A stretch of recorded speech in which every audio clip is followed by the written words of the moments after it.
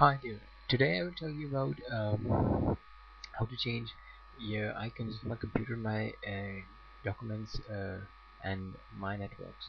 Just simply go to click right, right click, um, go to properties, desktop, customize desktop, and there you go. You change icon there. Um, if I want uh, this, because uh,